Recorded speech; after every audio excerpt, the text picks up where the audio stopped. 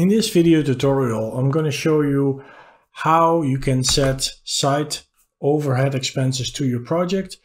And I will also show you how to capture liquidated damages if they're applicable to your project. So I've created this project in previous uh, videos. And what I want to capture now is uh, setting site resources. So to do that, I'm going to create a separate task called site overhead. And this site overhead um, is, is going to be less or more depending on the total duration of the project. So to capture this, this uh, uh, variable uh, duration, I'm going to change the type of this task over to the hammock task. And as you can see, it stretches now from the beginning to the end.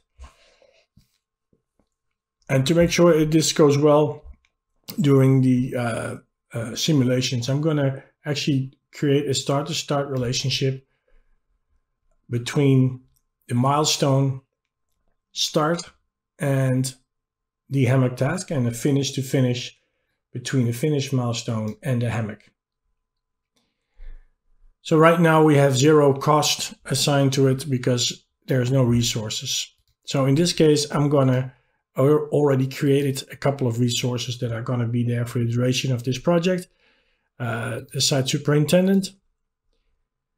And I'm also going to have the project manager and I'm going to assign him for 20, uh, 0.2 um, units per day. And I'm going to assign the engineer.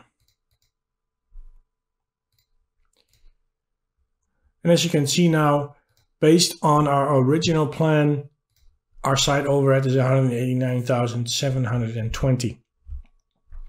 Now, if I run the simulation and I step through it, then this time we're we're shorter. The project actually is shorter than we anticipated. So I'm just going to step through and you see the overhead is changing. Every iteration, we go shorter, we go longer. The amount of overhead that we have on our project depends on the duration of the project. Next, I'm going to apply liquidated damages. Our project is scheduled to be done right now on the 27th of July. We have uh, liquidated damages, however, if we go beyond August 1st. So how can I model that? First I'm going to create a milestone called damages. I'm going to tell Primavera that this is a start milestone. And I'm going to set a constraint on it so it doesn't move, must start on, and I'm going to set it to August 1st.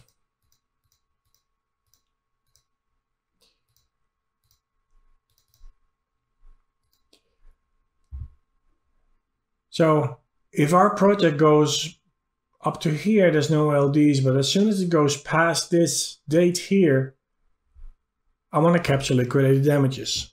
To do that, I'm going to create another task called LDs. And LDs is also going to be a hammock task. So I'm going to change the type to hammock.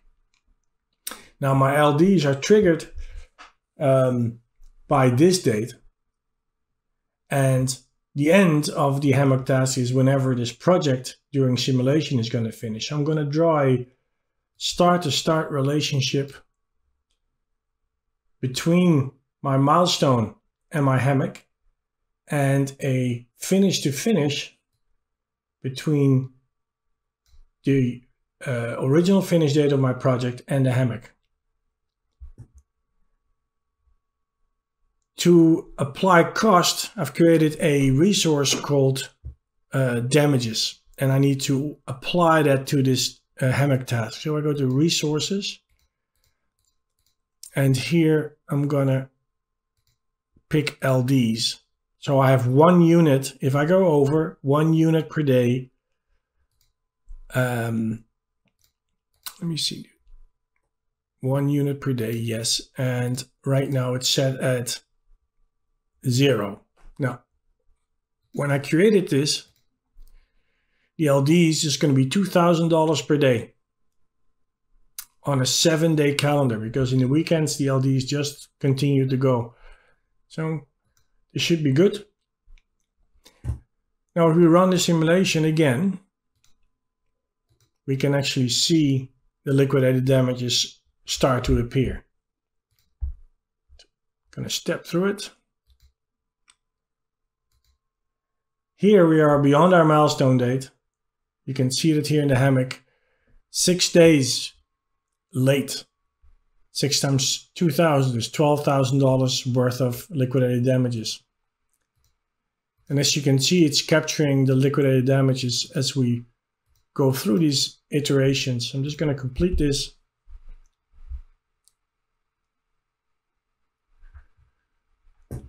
And actually, when we look at just the LDs, we can see how much LDs should we take into our budget. And that depends on our confidence level. So based on a confidence level of 80%, uh, according to our simulation, we should take an additional $6,000 on top of our budget.